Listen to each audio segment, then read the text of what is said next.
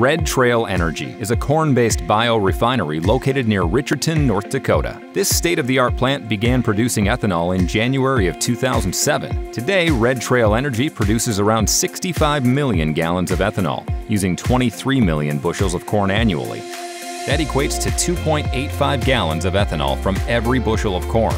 Co-products produced by RTE include 125,000 tons of dried distiller's grain, 80,000 tons of modified wet cake, 18 million pounds of corn oil, and 25,000 tons of syrup annually.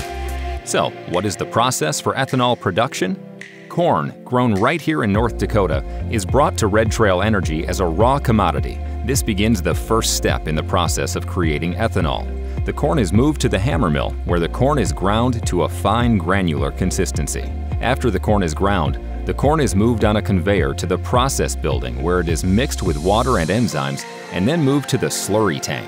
The mash is then heated to 186 degrees Fahrenheit where the starch breaks down to a fermentable sugar. The mixture then passes through a series of heat exchangers to bring the temperature down to 92 degrees Fahrenheit. Then yeast is added and the mash mixture is moved to one of the four fermentation tanks which each hold 730,000 gallons of mixture. As the yeast begins to ferment, the reaction produces heat, CO2, and alcohol. After around 60 hours, the mixture is now called beer and is around 15% alcohol. Now on to distillation.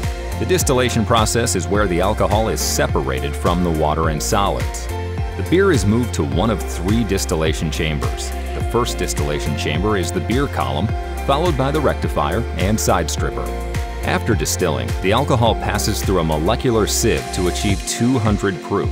RTE also has the ability to run the alcohol through further distilling to produce USP alcohol, which has a higher purity. The ethanol is then sent to holding tanks, where it is stored until it is sold and shipped. It is important to note, there is almost no waste while producing ethanol.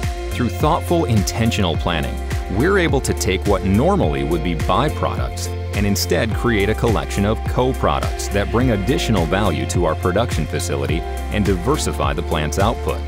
The solids, separated from the beer mixture, are sent to a large rotating drum to dry. The corn solids are turned into either distiller's grain or modified distiller's grain. The corn water from the beer mixture is evaporated down and turned into a corn syrup. These beneficial co-products are sold to farmers and ranchers to feed livestock, virtually every co-product is able to be utilized and sold. The corn syrup is sent through a centrifuge that uses centrifugal force to separate the lighter corn oil from the syrup to later produce biodiesel. Red Trail Energy is the first carbon capture and storage project allowed under state primacy in the United States. Red Trail Energy has taken action on something others only talk about. We're setting a new standard for the ethanol industry by capturing 100% of our CO2 emissions created by the fermentation process. The CO2 is permanently stored underground more than a mile below the surface in the Broom Creek Formation. Utilizing state-of-the-art monitoring technology, we can monitor CO2 plume in real time. This allows us to not only be better stewards to the environment, but also places more value on the ethanol in the clean fuel market. Ethanol is already considered a low-carbon fuel. Now, the ethanol produced at RTE has a lower carbon footprint than conventional ethanol sources, thanks to carbon capture.